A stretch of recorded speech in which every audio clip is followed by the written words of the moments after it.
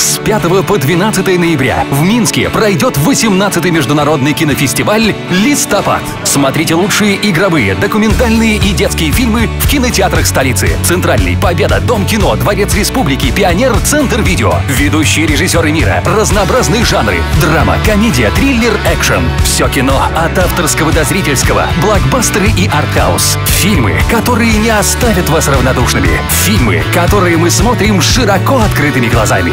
Минский международный кинофестиваль «Листопад» организован Министерством культуры Республики Беларусь и Минским городским исполнительным комитетом при поддержке Межгосударственного фонда гуманитарного сотрудничества государств-участников СНГ и Национальной государственной телерадиокомпании. Генеральный спонсор – открытое акционерное общество «Беларусь Калий». По 12 ноября